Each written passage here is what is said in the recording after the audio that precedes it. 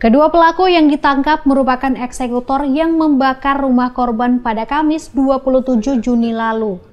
Polisi masih terus melakukan penyelidikan terhadap kedua tersangka dan tidak menutup kemungkinan akan ada tersangka tambahan dalam kasus ini. Petugas kepolisian juga masih terus menggali motif kedua pelaku melakukan pembakaran, sehingga menewaskan korban beserta tiga anggota keluarganya. Selain mengamankan kedua tersangka, Petugas juga mengamankan sejumlah barang bukti seperti kendaraan pelaku.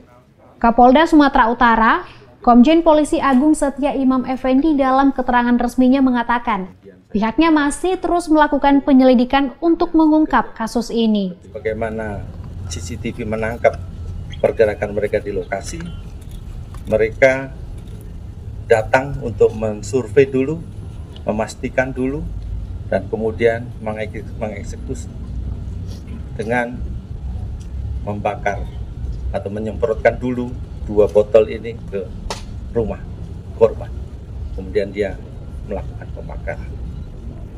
Titik-titik abu yang kita yang kita periksa sudah sesuai dengan apa yang dia sampaikan bahwa dia menyemprot menyiramkan campuran antara solar dan petralex ini ke rumah dan dinding-dinding di depan maupun di samping ke hmm. arah kamar korban.